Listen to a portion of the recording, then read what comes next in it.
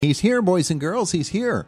Bob Pollock from the Extension Service, brought to us by Marcus and Mack, a law firm representing injured people. He is back from the State Farm Show. If you're asking for January weather for a trip to the State Farm Show, boy, did we get it this week. We got it. We got it, didn't we? Yeah. Although There was Wednesday, a day. Wednesday was there were squalls here and there on the way. I guess. Yeah, there was a day. There was a day, but still, this is January after all. Normally, it's the whole entire week. With, Yeah. So you had a good time? Yes, You learned things? People Oh. learned things? I hope so. Yeah. That's pretty much the purpose of There it. There you go. Well, Other than to enjoy some uh, a lot of food and Yeah. a lot of activity and mingling with a lot of people. a lot of deep fried food, as a matter of fact. Yeah, there is some of that. Yeah, yeah, there really is. Okay, so here we are. It's January. We've not had any winter at all, and here we come to the weekend with temperatures in the 60s. Are our trees and plants and lawns are they really confused right now? Well, they could be. No. Yeah, they could be. What are the ramifications of when it's so warm for so long in the month of January? and I don't. It's not so much if it stays warm. Mm-hmm. Not a big deal. Although we do need temperatures, you know, in the higher 30s and 40s. Control some for- insects?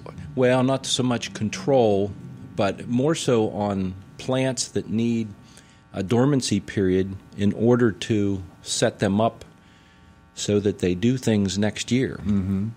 Um, so some some plants need that. So seeds, um, if you're propagating some seeds from either like oaks or you know nut trees uh, or um, even fruit trees, need a period of temperatures in that range have to rest. for a certain number of days in order to prompt them to then Yeah.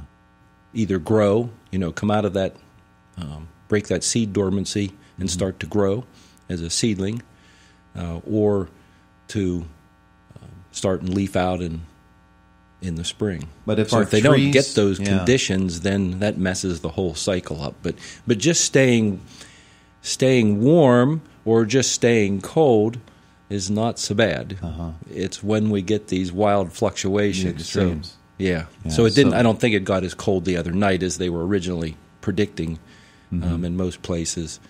But to swing from 10 degrees at night and then go to 50 or 60 the next day, we've got a we had a couple days Yeah. in here to kind of slowly creep out of that and get into warmer temperatures. It's it's when we really go in a short period of time, you know, 12 to 24 hours, one way or the other, uh, that really can throw things out of whack. I'm guessing it impacts uh, wildlife that which would hibernate uh, as well. Bears ought to be sleeping right now, but they're not. Yeah.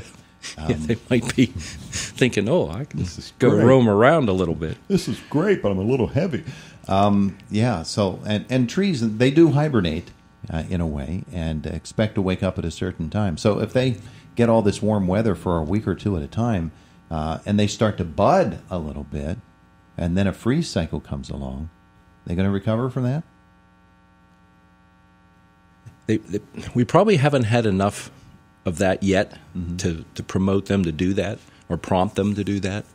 But you get into February and that starts happening, then yes, they could start to, if the buds start to swell, then we're most likely going to get a cold snap again between February and April or even May. Yeah.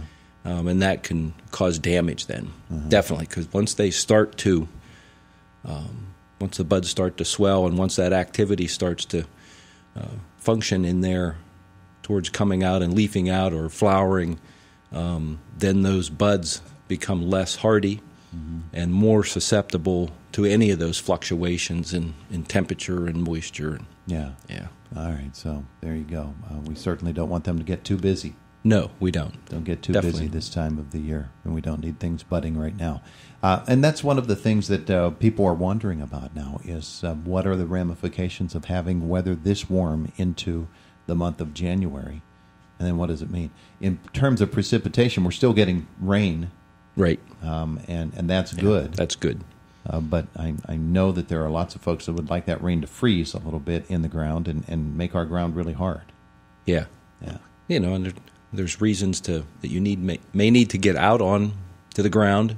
Uh, so when it's good and firm and solid, then it makes it a lot easier to do that. And There's a lot of uh, tree pruning that's done during the winter months. So if the ground's firmed up, then it's a lot easier to get equipment in uh, to do that, and easier if, if the ground's soft, then we can make ruts very easily, which you are very well aware of the word rut. You constantly live with that, unfortunately. I'm sitting in my mailbox the other day, just pulling into the mailbox, getting the mail at the end of the workday. Uh, and uh, here comes the truck the other way.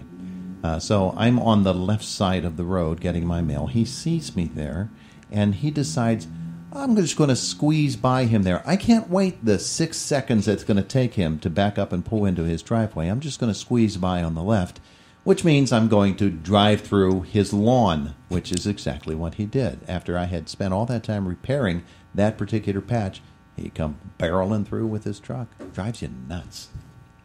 Nuts. I just keep seeing a fence in your future. You do? I keep see, I keep seeing large boulders. That will work. Just it's a fence. yeah. Boulders can be have been used for long, long time as fences. Yeah. Huh? All right. So those are some of the things we look at. What are some of the other issues when you have a warm winter that uh, that you, as at the extension, look to? People give you their concerns about this or that. Um, yeah, and, and it's more so so you can get into things where you're overwintering plants or where, um, you know, and it gets too warm, and if they're in a protected structure, that protected structure is unheated. Mm-hmm. But you, if the temperatures are too warm to begin with, and then you get a little sunshine on top of that, that can really heat that up Yeah. in that overwintering structure, which is usually just a modified greenhouse Yeah. um, and it and usually they'll have more of a white plastic on there, which is meant to uh, provide some shade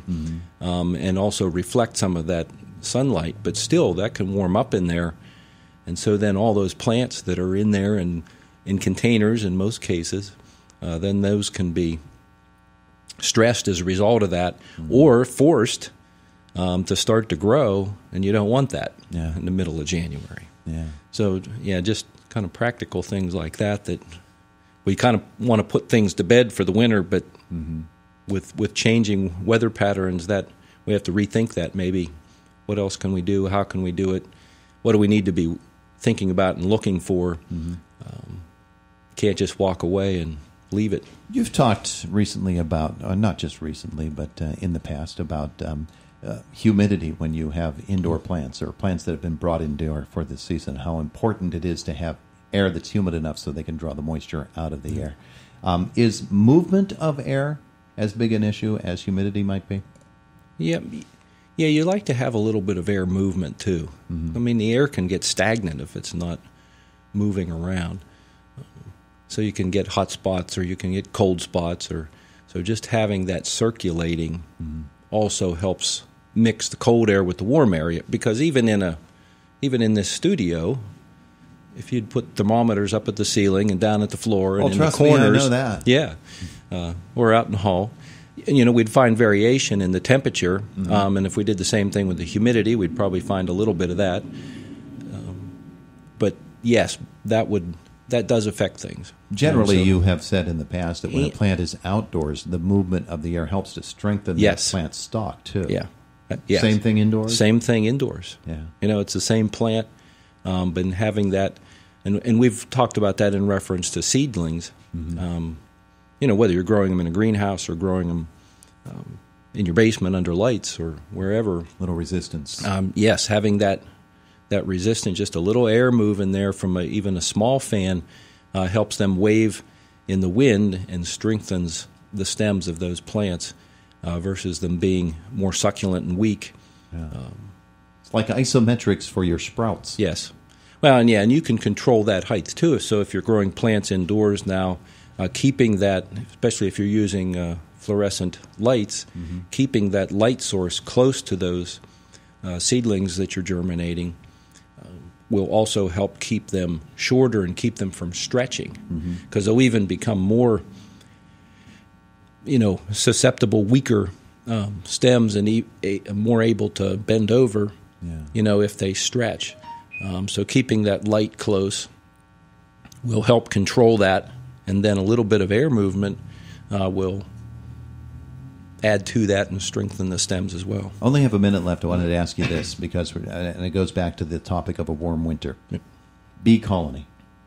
We've been talking about bee colony and strengthening it and uh, keeping it strong. Does this help or hurt?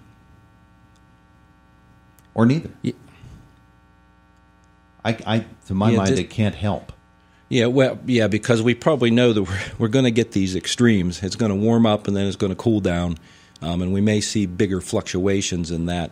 And so, naturally, when things are warmer, they lose their their hardiness or their ability to adapt to that. So, so when it when it slowly gets cold in the fall, and of course that gets timed along with the day length too being shorter. Um, then we we they gain that that hardiness. Um, when we get into periods like this, that kind of that affects that. They lose that hardiness because you're in those warmer temperatures, and so when you do get that spike down, then they're not ready for that yet. Um, so the the water in the cells in plants, for instance, kind of has an antifreeze in it, um, and and when we get in these warmer conditions, it loses that, and and it can't just gain that quickly in a couple of hours. It takes days for that to change and build up, and It's like and- I, like I told you, we had wasps in the church on Christmas Eve service. That's never a good thing. He's Bob Pollock. Thanks so much. you're welcome. It is the voice of Indiana County, WCCS, AM 1160 and 101.1 FM, and 101.1 FM.